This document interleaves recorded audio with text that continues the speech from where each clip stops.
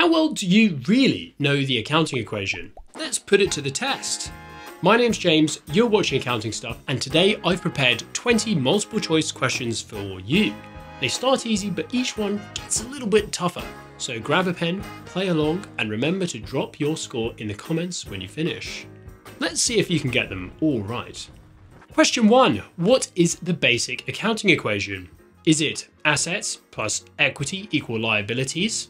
Assets equal equity minus liabilities, assets equal liabilities plus equity, or liabilities equal assets plus equity.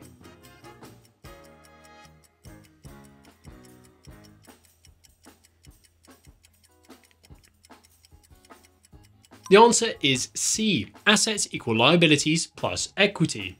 This formula is the foundation of the double entry accounting system.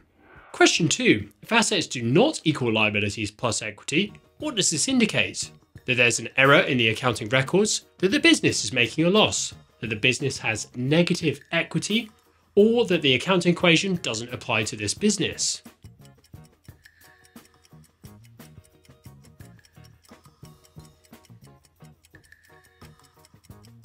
And the answer is A. The accounting equation always has to balance. So if assets don't equal liabilities plus equity, then something has been recorded incorrectly. Question 3. Which of the following is classified as an asset? Is it accrued expenses, loans payable, retained earnings, or inventory?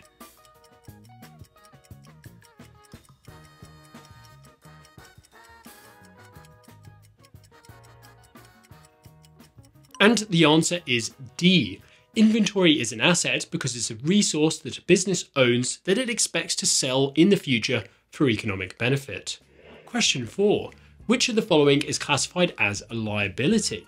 Is it accounts receivable, accounts payable, share capital, or equipment?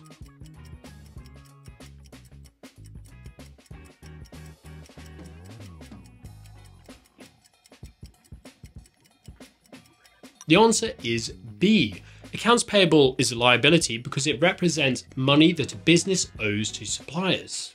This means it has an obligation to pay them in the future. Question 5. Which of the following is included in equity? Interest payable, prepaid expenses, retained earnings, or cash?